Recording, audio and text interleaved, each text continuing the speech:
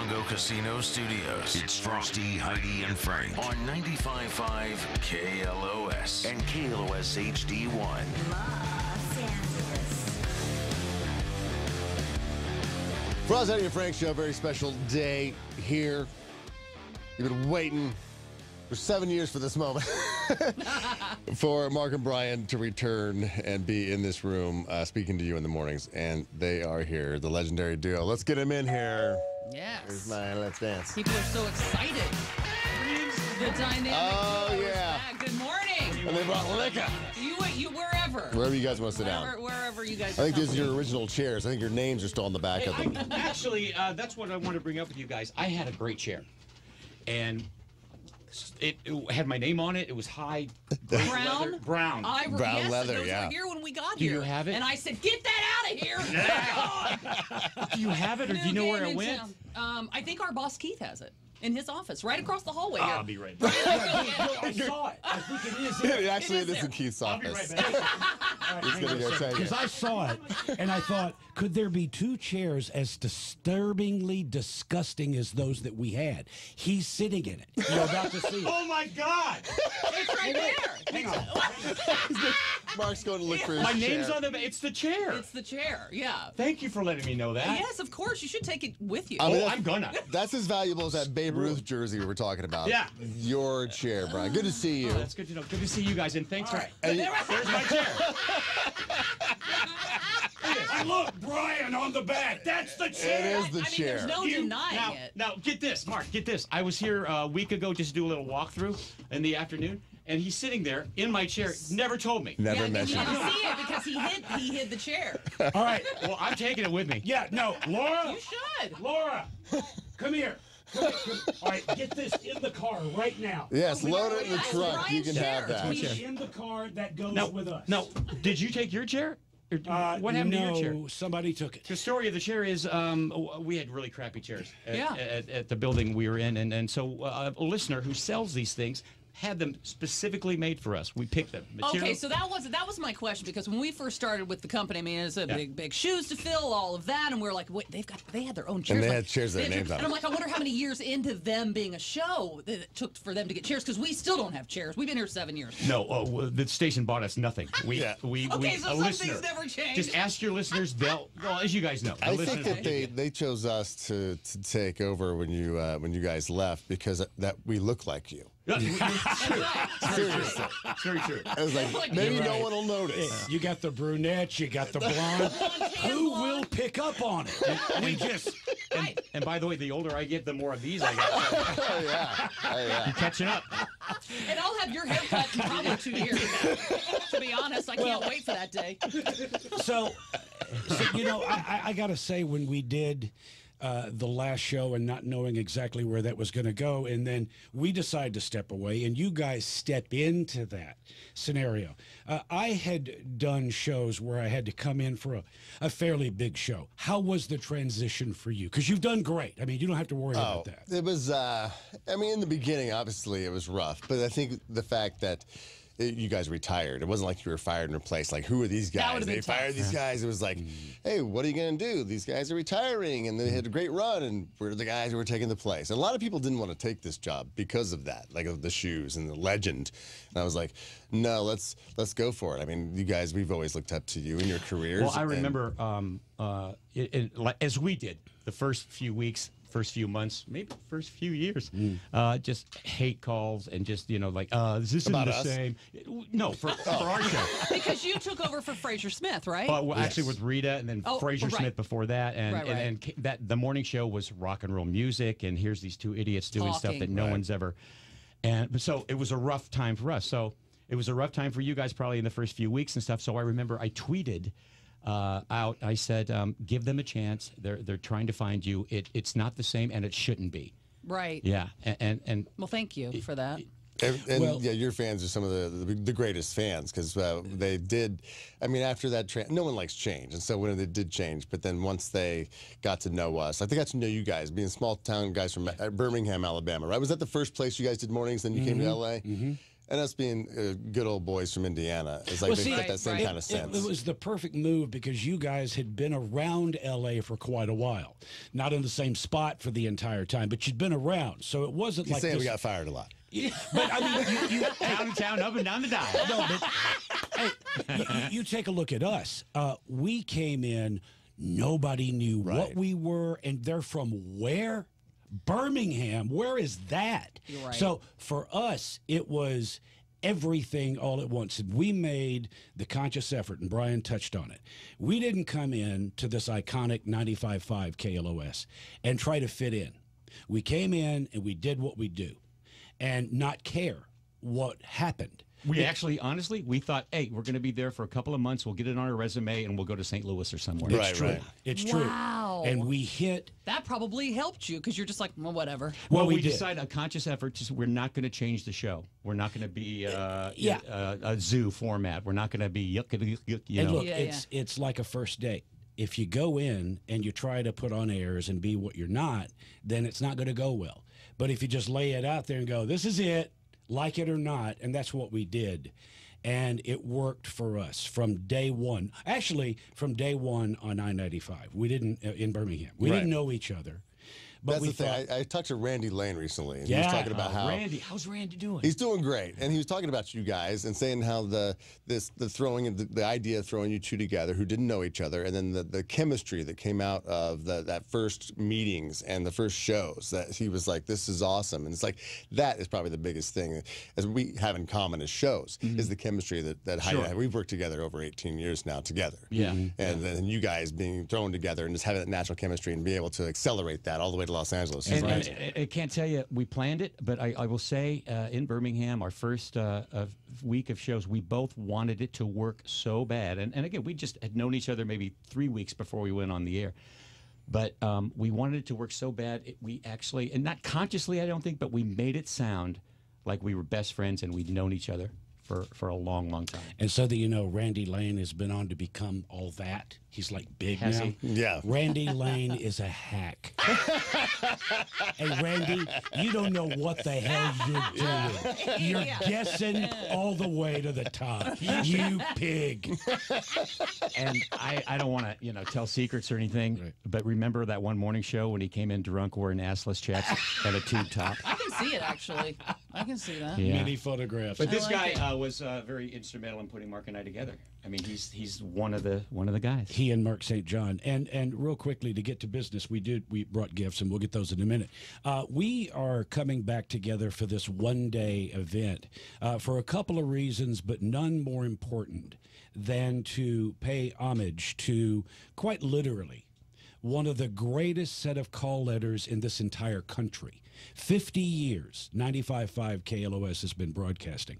And do you think, those of you that's listened for that many years or even part of that, do you think that it's uh, uh, uh, by chance that Slash pops in or, or Dave Grohl pops in? They pop in because it's 95.5 KLOS. And whenever KLOS calls, they come. We had Steven Tyler. Uh, who, by the way, never left the building. He would come in. I'm, This I'm is a not great kidding. story. This is amazing. He came in and he did our interview for as long as we needed him and did whatever we wanted. And then, because he's Steven Tyler and he knows what it means, he would. We finished the show. We have gone home for the day. I'm napping, and I get a call. He's still here. He goes into the sales department and he takes pictures at every cubicle because he knows it means something. But a quick story, and this is great. We had uh, Stevie Nicks and Lindsey Buckingham. Okay, so they're going to come in. They're going to do landslide. Oh, Which we're gonna- Live in studio. Have you heard this version? Oh, No. I don't think so. Well, when, So- when we do our show Oh, we'll uh, later, today. we're going to play. It was uh, they they hadn't performed together in I don't know ten years I or get chills just thinking about hearing it later. Rita was in the room. we we looked at each other and just. Uh, really goosebumps. I mean, yeah. just and, and because uh, there was a moment when they were singing, and she looks over to him, and they look in each other's eyes, and they just go, Like that. But, Wow. But you, you have to know what went on before because she, Stevie, got there early and she was shuttled into the green room. And within 60 seconds, somebody was called into the green room and Stevie wanted the glass pane to be covered with aluminum foil. So we had to get aluminum Because foil. of the aliens? Uh, yeah. Okay. Who knows why? Cover it. Just get it covered. So so it With was- aluminum foil. Right. Not so a it- curtain. it- so it was done. Okay.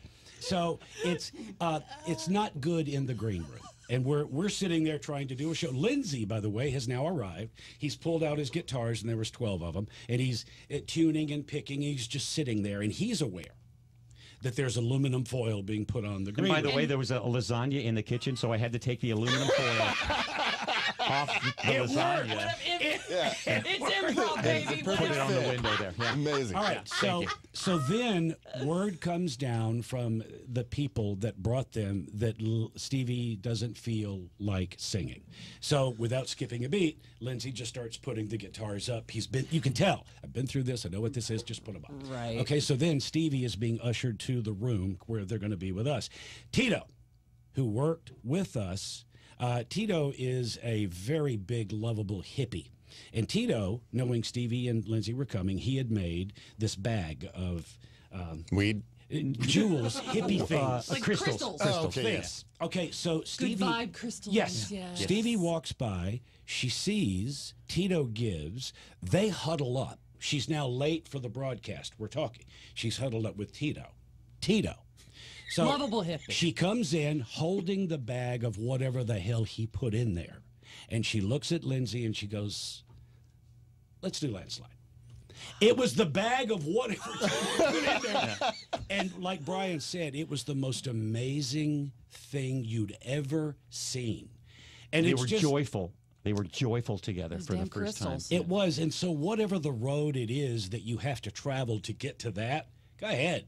And get this the show was at the, the show was at the Greek. It was like five days later. They do the show. Apparently, this is now 9, 10, 11 o'clock at night. Stevie Nicks calls the KLOS switchboard and asks to speak to Tito. Oh. she's like, she's like Joan. Like, I, I, I, I, I need need my, uh, my, my, my, my, my, my crystals. I'm a like, spiritual I- I- advisor. Is Tito there? Yeah. God love you, Tito. Well, we- you saved us, brother. We had to give Brian a gallon of essential oils to be here. So, you know, it's, it's just, I told you no melon scent. I told you. It makes you angry, Frank. Yeah. you both look great um, in, in retirement. I, I've heard uh, some good things and horrible things about retirement in and of itself. Is, is, is there, uh, is there, what are you doing now that you're enjoying? and What are you doing now that you're just missing? Um, well, first of all, I got to tell this story. This walkthrough I did last week, I went to the sales department, and there is John Spence, who is uh, yes, still there. John's still here. still there. John Spence is a great guy. Yeah. He's, Hey, John! it's our but uh, I- I'm standing there talking to him, and and uh, you know, I haven't seen him in years, and he, he looks at me and goes, "So are you bored?" Oh my God, that's a perfect John Spence. What you just did with your face. so yeah, no, no, everything's cool. Um, um, I bet you don't miss waking up early. well, that is. Uh, Isn't I- that nice just to be just to get up when whenever your eyeballs as, open? as you both know, It's uh, rough. It's rough, and ev- everything you do that day, all all has to surround the idea of getting up that early the next day. yeah, going to bed in enough Take a time to nap get now. I got I got to eat, then take a nap. But no, I got a thing tonight. So you have to you have to do calculus every day to do it. Right. Uh, and and yeah, blessed to be able to say we did that for 25 years. But. I do not miss that part of it. Alarm went off today, and it was still dark out. Do you remember? I, mean, I was like, oh yeah, that. Oh, we agreed to nine? So um, I- I'll do a quick John Spence, and then I'll answer your question. Here's John Spence. Every freaking day of our life, we'd finish the show, we go to the back studio, we're going to record some spots, and they're John Spence's. Here's John. He'd just open the door, and he would go, "Hey guys, just have fun with it." Yeah. And be- before Thanks, you John. knew, I've, Thanks. Good note. Good note. Speaking of salesmen, there was a, uh, and, uh, they would get Mark, everybody would get Mark and I's name di- uh, mixed up all the time. I still to this day answer to Brian. Yeah, and, and I Yeah, answered I him. guess you it's, have it's, it's to. fine. Yeah. Um, but there was a brand new salesman, and he really wanted to make a good impression, and, and he was wearing the crispy the shirt, and he was wearing the tie, and he's it's first day there, and I'm walking out of the uh, auxiliary studio, and he walks up to me with all the confidence in the world. He goes, "Hi, Mark." and walks down the, uh, the hallway. And I, And you just go, how's it you I just going?" let him do it. Yeah, Whatever. it's- Well, you know, to uh, to answer your your question, after 50 years of doing this, and nothing, nothing will ever replace the joy that I receive from putting on headphones and speaking into a microphone. I'll never, ever, ever replace it. And I've got the podcast that I do once a week, which is comfortable. But what I find that keeps me the happiest, by the way, as I've processed not doing this, I don't miss the grind. I don't miss the eight to 10 hour a day, every day, primarily days you're not in the mood for it. I don't miss that. But what I do is I fill my day with things that are creative and whatever that may be. It can be whatever it is that you enjoy. Uh, wait, that can be creative. I know I use creative. Especially you turn. Yeah, thumb down, thumb down, because that's somebody else's doing. no, the key. I'm not even allowed. 50. the, the, the, key is to not let yourself get bored, to do stuff that you enjoy, that you find creative, and, and just kind of get through your day with that. And that's Have you good. picked up any like hobby, like bucket list hobby? Like, you know, I'm, I'm going to try doing this and see if I like yeah, it. Yeah. Um, for a while, I haven't done it for a while. For a while, I was a freelance conjugal visitor in a women's prison. nice, nice. It wasn't that lucrative, but you get paid in cigarettes and toilet wine. Try it. boy with the term toilet wine you get a visual Yeah, yeah, yeah. Yeah. which sounds pretty good frankly I mean, prison hooch is kind of the fancy Prison version, hooch. But, then you say toilet wine, and it's the Well, same actually, thing. but it's prison prison hooch was one, like my first client. She hey and you know what i know we got to go we're close to going right? No, we can stay all Okay, well, here's the thing. Uh, I want to say this because I mean this. Um, the fact that you, Heidi, and Frank would allow Mark and Brian, who uh, you filled our shoes, to come back in here and be on your show, and I know that you know what I'm saying. How many morning shows would allow that? The egos are huge. Uh, there's issues, there's problems, but you embraced it, and it meant the world to both of us that you would say, guys, we know you've got a long day. Come start it with us. It really does. It just shows who you are as people. Well, the thing is, when when uh, our boss Keith uh, mentioned it, they're like, "Hey, you know, they're going to come on for one show in the afternoons, and they'd you know like to come on, but they're very respectful. Want to know if you're okay with that?" Like, "Are you kidding me? I mean, seriously, to have you guys in the room with us." So it was like the radio uh, rule about reintroduce who's on your show right now. But I'm like, sure. I don't think I need to because the voices and and just the So history. familiar. Everybody's like. Am I hearing Mark and Brian? They think they woke up from a coma. They're like, "Wait, what the hell's going on right now?" Is it 1987? but yeah, like so, we've uh, always uh, looked up to you guys and uh, appreciate. Uh, I mean, you were way, way supportive when we first started, and you told the audience to give us a shot. Both of you did, and that that means a lot too to And us. what's- And so, and- yeah, anytime you guys are here in town, just want to come on and and have fun with us, the door's always And open. what's make it easy. beautiful, what's beautiful about it is when we first started and we would be out somewhere, people would you say, "Oh, I don't know." I was Mark and Brian, and they'll do all of your little oh, inside yeah. jokes, and I'm like, okay. Yeah. And now, all these years later, they're like, I was a huge Mark and Brian fan. I hated you guys when you first started. I really hated- Exactly. And now, man, I love you guys Yeah. so much. Yeah. Like you're, and so that's where it's like, okay, we won. I'm sure we did lose some, and that's fine. But the people who loved you because of your authenticity and all the reasons they loved you, now they're like, well, I'll just give them a shot. Mm-hmm. And it is thanks to you guys for saying, hey, listen, you know, we're, we got our stamp of approval. And so if they're like, well, if they're okay with it, then maybe we should be okay with it. And now and look they're a part of the family. And look what you did, you guys. Yeah. Congratulations. And, and I want, also you. wanted to say um, we're very sorry to hear the news about Frosty. oh, yeah, yeah. yeah, he really dad. wanted to be here because he hasn't met you guys. And, and he He was have met him, super excited, yeah. Yeah, all right. And so unfortunately not. So uh, I live in uh, a little small town, 20 minutes north of Charlotte, and uh, redneck. oh yeah, and, and happy to be so. um, and you know, I can remember, especially this past season, watching it on television, the fires and the winds and the floods that came through.